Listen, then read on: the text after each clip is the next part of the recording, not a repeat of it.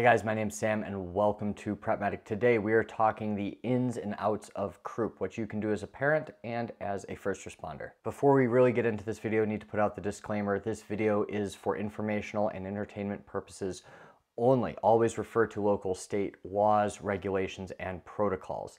That being said, as of right now, I believe all of this information is correct, but medical science does change over time. So if you're watching this video at any time in the future, which is literally everybody, make sure you're doing your own research and understanding that there might be new recommendations out.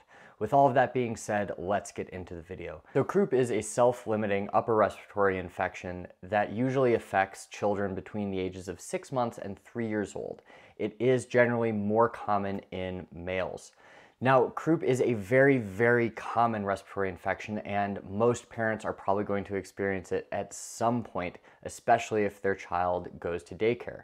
Croup is generally caused by either the parainfluenza virus 1 or 2 and can also present after an infection with RSV. All of these things are very, very common in the pediatric population. So croup is also known as laryngotracheal bronchitis, which basically means that it is the inflammation of the larynx, the trachea, and the bronchi. The onset of croup is usually after about three days of some kind of upper respiratory infection like we talked about earlier. If it is an extremely rapid onset, you should suspect something else, and we'll talk about differential diagnoses later in this video. The symptoms of croup can be divided between mild, moderate, and severe, but there is overlap between each category. You'll notice that the official grading scale of croup is a point-based system, which means you can have a symptom of severe croup, but not actually fall into that category if you don't meet the points required. This is really not here nor there, but if you are a clinician and you're looking at uh, making a determination for this child, especially EMS providers, whether you should transport or not, this is a good thing to know where to look up. Now, the mild symptoms, the hallmark that you're going to see is the seal bark cough. And I've got some videos of that. My son just had this infection, so I got some videos. I'll also put in some other audio sources uh, from different uh, videos that I've seen over the years.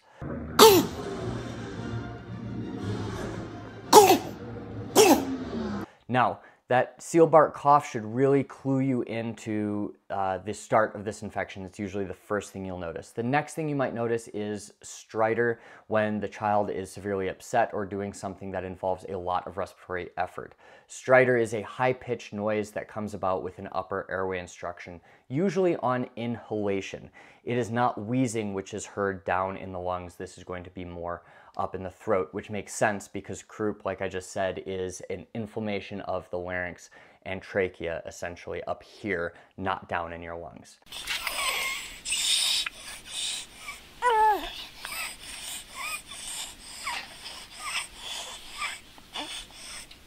Now, as you get to more severe croup symptoms, you can have a little bit of retractions. Essentially what this means is when the child breathes in, you'll have the uh, muscles between the ribs will suck in and it will just, it's just them trying to get a little bit more power out of their breath. These are called accessory muscles.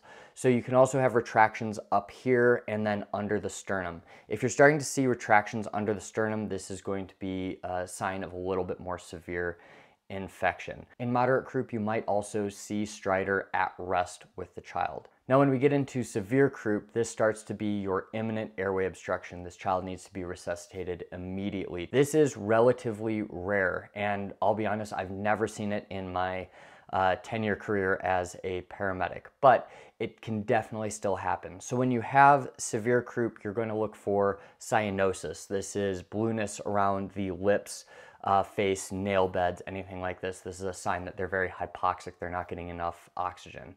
You're gonna have severe retractions and accessory muscle use, so they're really doing everything they can to take a deep breath. You might have diminished lung sounds and you might even lose stridor as that airway obstruction becomes more and more profound. The biggest kind of worrisome sign in any pediatric disease, sickness, anything is going to be altered mental status. So if the child is severely agitated or listless and going unresponsive, these are signs that this hypoxia is getting to a critical point and this child needs intervention. So if you have any signs or symptoms of severe croup, that is a 911 call right away, no questions asked, get them to the hospital for appropriate resuscitation. I can never recommend somebody throws the kid in the back of the car, you can't monitor them well, and you don't have the tools to treat them on the way to the hospital, where most ambulances are going to carry a lot of the treatments we're going to talk about later on in this video. As far as moderate croup, this is going to be a judgment call and you should at least consult your primary care provider. Honestly, this is one of those situations where if you are unsure as a parent, if you're just you're not quite comfortable with where it is, your kid's having difficulty breathing, you're never wrong to call 911. You'd rather be safe than sorry. As far as mild croup goes, if you can't determine it, you can still call 911, you can still take them in. However, generally, mild croup can be managed at home very effectively. Just make sure that you are monitoring your child and you are aware of the risks going forward. So let's talk about treatments. We're gonna go through everything that you can do at home all the way through what they're gonna do in the ambulance and hospital. And I'm going through everything just because I've got a wide range of viewers on this channel, everything from your concerned parents to uh, first responders that just want a quick refresher in this information. So two things that you can do as a parent at home, and neither one of these are really uh, studied a whole lot. There's not a lot of demonstrated benefits outside of anecdotal reports. Now, my anecdotal report is one of them, and this has been common teaching for a long time, even in uh, EMT school when I went through like 11, 12 years ago, we were taught this. So take it with a grain of salt, but understand like I've seen it work as of last week, and a lot of parents swear by it. You can put your kid in a hot, steamy room. So you can turn on the shower as hot as it goes, sit with them in the bathroom, let the uh, room steam up. Now, I'm not saying put them in the scalding water, all right? I'm saying put them in the hot bathroom. And that humidity can oftentimes ease their sore throat and just make it a little bit easier for them to breathe. The next thing you can do is actually the exact opposite end of the spectrum, and that's take them outside into cool, crisp night air. A lot of times we will have kids where we respond to their house, they have croup, they've got this seal bark cough, they've got inspiratory stridor at rest, and we carry them out to the ambulance and just in that trip between the house and the ambulance, you'll lose some of that stridor at rest. So it can definitely be effective, at least in a short term. When my child had croup, what we'd do is we'd do the shower uh, during the day and then right before bed, we'd take him outside, and that seemed to do a lot to at least help him get to sleep. One thing to avoid is cough medicine. There are some downsides to that, and it is not recommended in a croup case. One medicine you can give is ibuprofen, and this is an anti-inflammatory, therefore it helps with some of the inflammation in the throat and can ease some of that pain and burden on the child.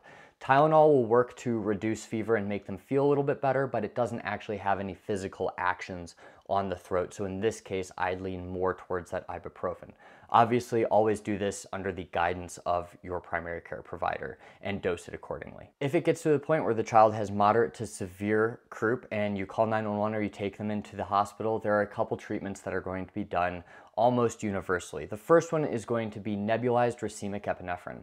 So racemic epinephrine just goes in your standard nebulizer. If you're on an ambulance, you put the bullet in and then you have to reconstitute with a little bit of saline. And this is just going to help open up those airways. It's a very safe medication to give and most 911 agencies across the United States will be able to administer it. The second thing they're going to do in the hospital is administer some dexamethasone. And this is a uh, corticosteroid that basically helps ease some of that inflammation in a little bit of a longer term than your racemic epinephrine. One interesting fact about dexamethasone, if you want to keep the kid calm, it doesn't necessarily need to be given IM or IV. It can actually be drank right out of the vial. You can mix it with some juice or something else that tastes good. Otherwise, it's very bitter. So this isn't me recommending that you do it, but just know that it is possible with this particular medication. If a child receives racemic epinephrine, they have to be observed for three to four hours at a minimum, which means if you're on an ambulance, you respond to a croupy kid, you give them racemic epi and they seem to be doing better, this is not a child you should be refusing. You need to transport them to the hospital. If you are going to refuse that patient AMA, the parent doesn't want them transported, this is a time where I would highly recommend you call your medical director to get that release. In your moderate to severe croup, obviously you're going to give supplementary oxygen if they are hypoxic and sometimes heated high flow is going to be placed on the patient. BiPAP is a little less common in these cases, but it can be performed, and then of course you can go all the way up to intubation. With these children, it is very important that you keep them calm. The more upset a child is, the more inflamed that airway will become, in mild cases, if you get them really upset, they might get that stridor. In moderate to severe, it might bring them to the next level. So just trying to keep them calm, not crying, allow them to sit with mom if it's safe to do so, and not subjecting them to tests that you don't necessarily need to run. While croup is a clinical diagnosis and generally that seal bark cough will clue you into uh, this case being croup, there are a couple other differential diagnoses you have to keep in mind. And the main one I want to draw your attention to is going to be epiglottitis. So this is an inflammation of the epiglottis. Now this can be extremely life-threatening and this is a child that you don't want to do anything to make them upset because they will lose their airway instantly.